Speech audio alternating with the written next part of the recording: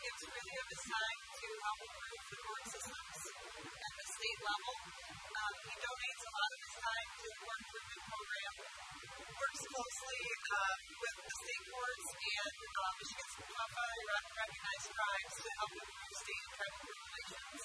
He donates his time to training new state court judges on issues related to the Indian Child Welfare Act, and he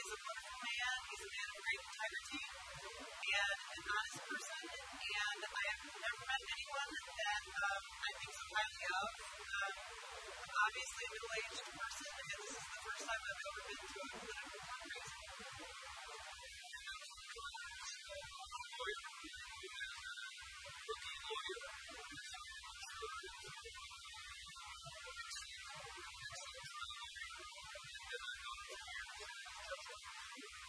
Well, I've been practicing in Washtenaw County for 37 years, and over much of that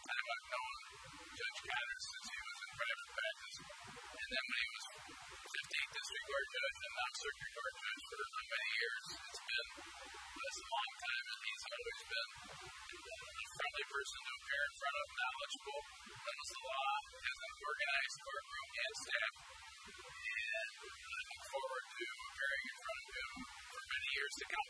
Because I believe he is clearly the best person for this job to continue this job, and I can't imagine anybody coming in and doing any better. I am a practicing attorney now, and uh, I have appeared in front of Judge Matters for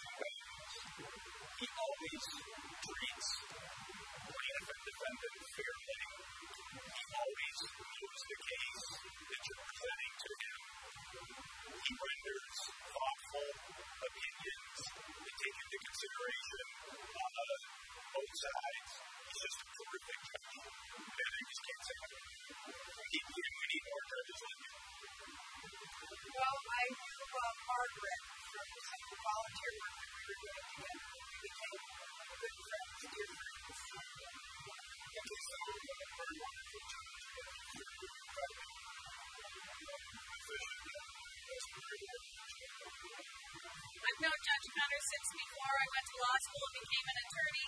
I was happy to know him when he was raising his children and bought Girl Scout cookies from his daughter. And then once I was admitted to practice, I've been privileged to be practicing in front of him for 15 years. And he has schooled me in the appropriate ways to behave in the courtroom, and it's a real privilege to have him on the bench in our county because I think he is a very community minded, fair, and balanced jurist, and he follows the law, but he weighs the pros and cons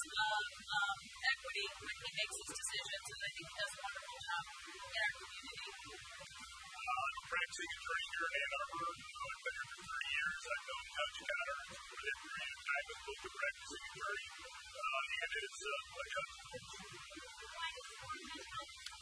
I support Judge Connors because I think he's one the fair, and uh, amiable judges. Uh, he's got a great knack for people, uh, and he uh, he has a specialty of bringing parties together, resolving cases,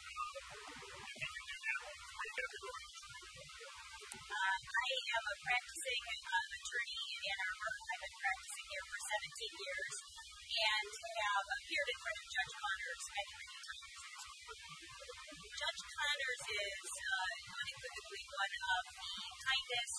fairest, um, and uh, easiest judges to in front of practicing players. And uh, I know I speak for myself and everyone else that I know practices in front of Judge Connors and saying that um, that it is it is um, such a pleasure to be able to practice in his courtroom because of his judicial demeanor, his temperament, the way he treats the lawyers and the and is always fair and always takes the time to understand the issue before him.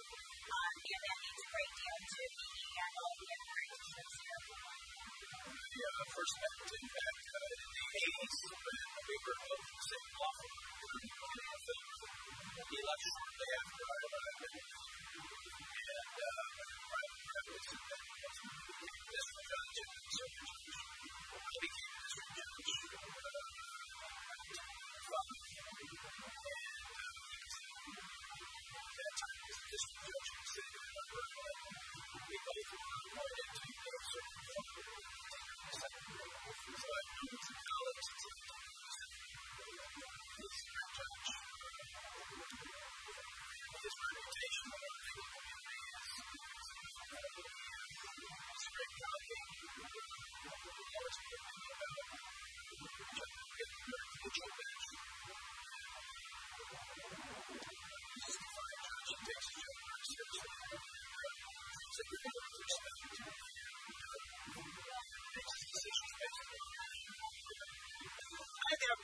Judge Connors for a number of years when I was serving as a Washtenaw County Commissioner. So we would meet regularly to talk about the court budget and what was going on in the court in terms of the organization of the space and the facilities and the employees over there at the court. And uh, through that process, got to know Judge Connors, got to understand the uh, compassion he has for his staff and the compassion he has for our community. And uh, he always took his job very, very seriously and always uh, discharged responsibilities very ably. And it was just a pleasure working with him. Well, I think I just laid out some of the reasons why I support him, but now in my new role as a state legislator, I have an opportunity to see some of the broader issues that Judge Connors is involved in. He's not just involved in, you know, compassion at the local level, media out justice when it needs to happen. He's also involved at the state level, pushing for justice in terms of the Indian Child Welfare Act. He's a real leader in the state on trying to make sure that uh, uh, Indians and their families are dealt with in a way that's both legal and fair. And so I really appreciate seeing him lobbying up in Lansing for good laws that will improve the situation for Native American families. I know Judge Connors because I practice as an attorney here in Washtenaw County. I support Judge Connors because he's always been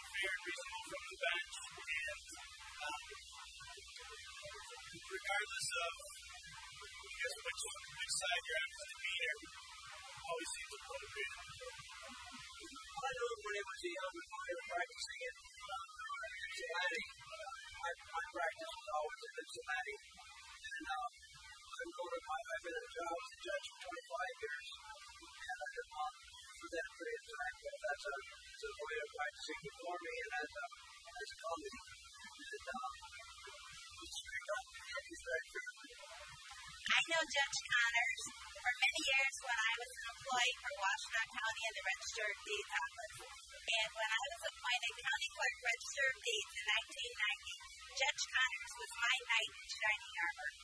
He is just a wonderful person. He's caring. He cares about the community. He cares about the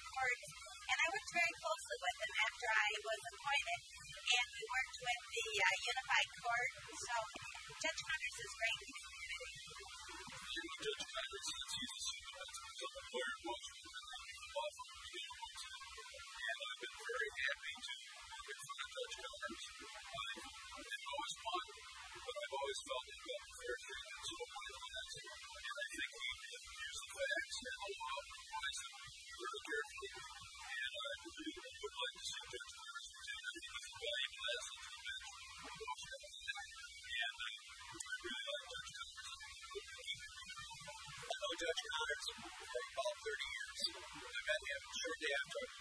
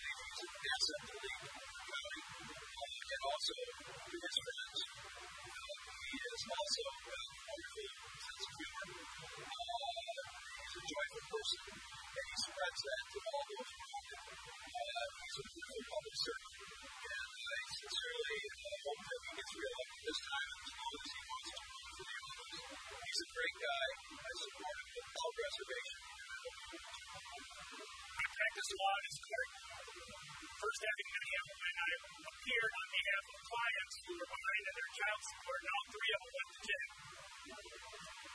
I feel that I need to keep coming back until I can figure out how to keep my clients out of jail. And until we'll listen to the other so I need to start